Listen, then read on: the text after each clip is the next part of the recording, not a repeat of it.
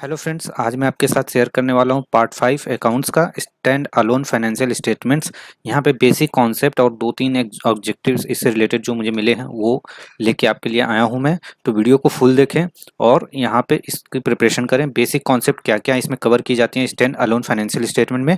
जो red colour में मैंने यहाँ पे मार्क किया हुआ है, उसे ध्यान रखना है आपको, क्योंकि जो ऑब्जेक्टिव्स बनेंगे तो उससे ही रिलेटेड बनेंगे।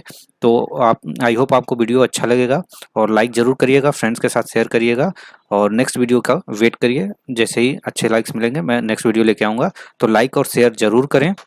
तो आइए एक करके यहाँ पे वीडियो को देखते हैं और जो बाकी सीरीज़ मैंने बनाया है, आपको डिस्क्रिप्शन बॉक्स में उसके अकाउंट्स और फ़ैन लॉ के मिल जाएँगे। तो धीरे धीरे मैं सारी चीज़ें कवर करते रहूँगा जैसे जैसे एग्ज़ाम्स आएँगे तो आपको हेल्प मिलते रहेगा। तो आइए नेक्स्ट शुरू करते हैं यहाँ पे। सो so, यहाँ पे स्टैंड अलोन फाइनेंशियल स्टेटमेंट्स की अगर बात करूँ तो सबसे पहले होती है मीनिंग तो मीनिंग में है standalone financial statements are the financial statements of one company so one company यानी स्टैंड अलोन फाइनेंशियल स्टेटमेंट अगर कोई ऑब्जेक्टिव्स आएगा तो उसमें आप लिख देते हैं सिंगल एंटिटी यानी वन कंपनी का ही मतलब सिंगल एंटिटी को कवर किया जाता है। In the case of group that of the holding company without considering the financial statement of its subsidiary company यानी जब स्टैंड अलोन फाइनेंशियल स्टेटमेंट हम बनाते हैं तो उसमें किसी सब्सिडरी ज्वाइंट वेंचर या किसी चीज़ का कंसिडर नहीं करते हैं। ओनली सिंगल जो मेन एंटिटी है, उसके बारे में ही यहाँ पे बात होती है। नेक्स्ट बात करें फाइनेंशियल पोजिशन रिफ्लेक्ट क्या क्या करते हैं यहाँ पे? तो standalone financial statements do not reflect the financial condition of the entire group यानी पूरी कंपनी की ये पोजीशन नहीं बताती but only the single company whose financial statements are prepared तो जिसका हम फाइनेंशियल स्टैंड अलोन बनाते हैं, ये उसी का फाइनेंशियल पोजीशन वहाँ पे बताता है।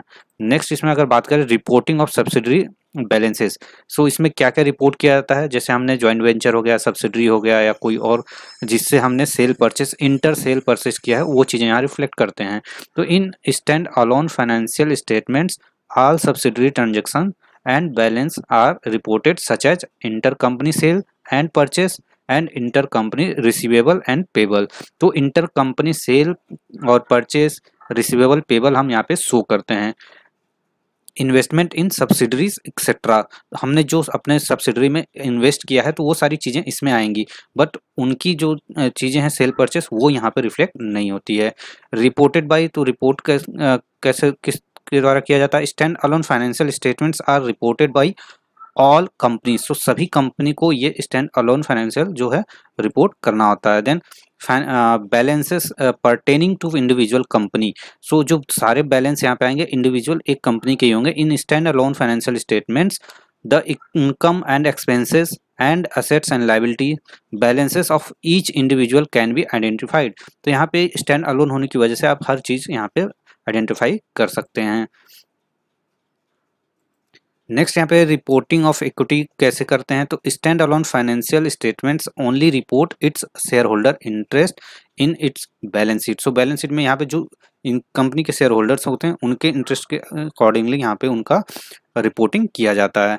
उसके बाद कॉम्प्लेक्सिटी की बात करें यहाँ पे तो standalone financial statements are less complex to prepare यानी जब हम होल्डिंग या कंसोलिडेटेड कंपनी की बनाते हैं, यहाँ पे कंसोलिडेटेड फाइनेंशियल स्टेटमेंट तो वो मोर कॉम्प्लेक्स होता है क्योंकि अगर तीन चार जॉइंट वेंचर हैं सब्सिडरीज हैं उसकी तो उन सबको मर्ज करना होता है, उसमें क्या चीज़ें आएँगी, नहीं आएँगी, बहुत कॉम्प्लेक्स होता है। बट स्टैंड अलोन बनाना बहुत ईजी होता है तो इससे भी ऑब्जेक्टिव आ सकता है कि ईजी है लेस कॉम्प्लेक्स मोर कॉम्प्लेक्स या मॉडरेट ऐसे करके ऑप्शंस आ सकते हैं। Relevance to investor of a group तो यहाँ पे रिलीवेंस क्या होता है इन्वेस्टर ग्रुप के लिए? Stand alone financial statements do not reflect the financial condition of the entire group तो अभी तक के मीनिंग में आपको पता चल गया होगा, ये फुल कंपनी के बारे में इंफॉर्मेशन यहाँ पे नहीं होती है। In reality for investor of a companies specifically those independent on group transaction and group support, the financial position of its group companies are also relevant and hence stand alone financial statements are less relevant in such a case so अगर investor है कोई company listed है suppose उसकी stand alone आती है तो वहाँ से आपको पूरा ट्रुथ उसका जो है फेयर व्यू नहीं पता चलेगा तो आप उसको इन्वेस्ट करने के लिए ये ज़्यादा रिलेवेंट नहीं होते हैं इन सब चीज़ों में इन्वेस्टमेंट के पर्पज़ से अगर आप देखें तो। रिलेवेंस फॉर टैक्स कंप्लायंस की अगर बात करें तो stand alone financial statements are more relevant for the respective perspective of tax compliance तो ये बहुत ही रिलेवेंट होता है। क्योंकि ये एक एक ग्रुप का बनता है तो बहुत ईजी होता है एक stand alone banana. Each company is a separate taxable entity and thus its stand alone financial statement are consider while undertaking tax compliance तो स्टैंड अलोन बनाना यानी सपोज़ हर स्टैंड अलोन अपना कंपनी बना रही है, हर सब्सिडरी सब्सिडरी है, वो अपना बनाएगी तो वो स्टैंड अलोन होती है। वो अपने होल्डिंग या अपने जो पेरेंट कंपनी है, उसको ऐड नहीं करती है तो उस काफ़ी इजी हो जाता है कि आपने अपना टैक्स कैलकुलेट किया और कंप्लायंस के हिसाब से पे कर दिया तो ये काफ़ी ईजी होता है। उसके बाद बात करें ऑर्डर ऑफ़ प्रिपरेशन की तो stand alone financial statements of all come group companies are prepare first so सबसे पहले ऑर्डर में अगर आता है तो सबसे पहले स्टैंड अलोन बनाया जाता है, उसके बाद कंसल्टेशन किया जाता है। And form the basis of preparation of consolidated financial statements तो यहाँ पे कंसोलिडेट ये इसका पूरा ये मैंने दो चीज़ें कवर कर ली यहाँ पे। यही uh, उसका क्रक्स है ये कंसोलिडेटेड फाइनेंशियल में यही चीज़ें होती हैं। तो एक बार आप इसको ज़रूर uh, अच्छे से देख लें और क्या क्या चीज़ें होती हैं। बस आपको मेन पॉइंट इनका ध्यान रखना है। उसके बाद अगर बात करें ऑब्जेक्टिव टाइप की तो यहाँ पे a financial statement that summarize company revenue and expenses each income statement correct answer है उसका। उसके बाद विच फाइनेंशियल स्टेटमेंट रिप्रेजेंट अब summary of the asset liability and owners equity of a firm तो यहाँ पे इसका करेक्ट आंसर हो जाएगा बैलेंस शीट नेक्स्ट क्वेश्चन की बात करें यहाँ पे। Stand alone financial statement is specifically representing the financial position of the company and the performance of the company is a इसका मैंने आंसर नहीं बताया हुआ है, थोड़ा सा आप सोचिए। फिर मैं बताने वाला हूँ। आपको पता होगा, जैसे ऊपर मैंने मीनिंग बताया, इसका आंसर ए है सिंगल एंटिटी यानी हम स्टैंड अलोन में सिंगल एंटिटी का बनाते हैं, सारे इसमें इंक्लूड नहीं करते हैं। सो आई होप आपको ये वीडियो अच्छा लगा हो तो लाइक ज़रूर करें फ्रेंड्स के साथ शेयर करें नेक्स्ट वीडियो का वेट करें।